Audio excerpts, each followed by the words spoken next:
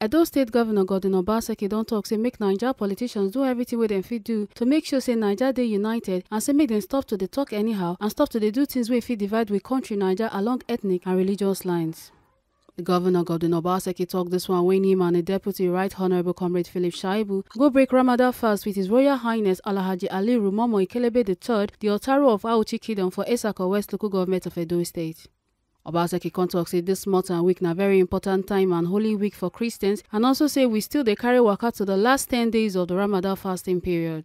E come still tok say dis time na one ogbonge time wey we no dey see all the time sake of say na the first time wey the period of Lent and Ramadan dey come together. E come call on Naija pipo especially Edo State pipo say make dem pray wella to take understand the presence of God over the affairs of we state and we nation and say as dem dey do am before for the past six years dem come still come again dis year to come break fast with His Royal Highness the Otaru of Auchi wey be the head of Muslims for Edo State. It's a very significant month, very significant week. It's the Holy Week for Christians, and um, it's also as we're heading towards the last 10 days of um, Ramadan fasting period, which are supposed to be the holiest days of uh, the Ramadan month.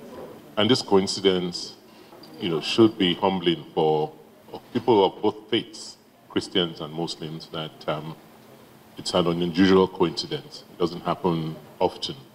So there must be a significance in the fact that God Almighty has made it possible for us to celebrate the Lent, the period of Lent, and Ramadan, you know, overlapping each other. It means for us Nigerians and, you know, citizens of Edo State that we must understand the presence of God in our affairs and in our nation, particularly at this point in time. It calls for sober reflection, calls for prayers, and it calls for supplications to God Almighty. Uh, tonight, we had the privilege, as usual, we've done this uh, for six years, except during COVID, to come and break fast with uh, His Royal Highness, the Otaru of Auchi, who you know is the head of Muslims in Edo State. Um, it's significant. This is particularly significant, as you know, because in the Christian calendar, Holy Thursday is the day our Lord Jesus Christ had the Last Supper. So it's about breaking fast, it's about breaking bread and fellowship. So we're glad that God has spared our lives to be here today, to see today, and to come and break fast with His Royal Highness and pray that God Almighty continues to preserve him, protect him, give him the wisdom required to rule his, over his people, and also to provide leadership for us in Edo State. Obaseki still tok say him and di deputy come here today sake of say dem wan show edo pipo say make dem no dey do religious divide as all of dem be christians and dem still come come jolly with di muslim leader. E come say e no understand why wen e reach politics na there we dey talk more on our differences and division wey no dey real. Say im agree with wetin di elder statesman and former presido of naija chief olusegun obasanjo tok say we need to come together as pipo to see di wahala wey naija dey face say e pass ethnicity and religion. Well, the role of leaders um, is to overcome challenges and to give hope to the their people. Um, us being here tonight, myself and the deputy, shows that in Edo State, we do not see that religious divide.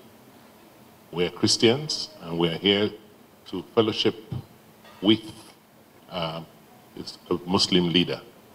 So religion cannot and should not be a basis for dividing us as a people.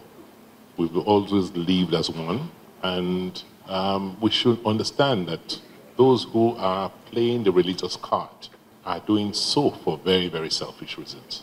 We've always had people of different faiths live in this country as one, and they've always interacted as one. When you go to your markets to trade, to transact, you don't ask whether the person is Muslim or Christian or Igbo, Yoruba or Hausa. You do your business and try and get a fair deal out of, of that. So why now, when it comes to politics, we now want to begin to emphasize our differences, our divisions, which are really unreal. I mean, they, are, they have been heightened by uh, those of us in the political class. So I agree with uh, the elder statesman uh, that we as leaders need to do more to unite our people and to get them to see that the issues in Nigeria are beyond ethnicity and religion. It's about good governance.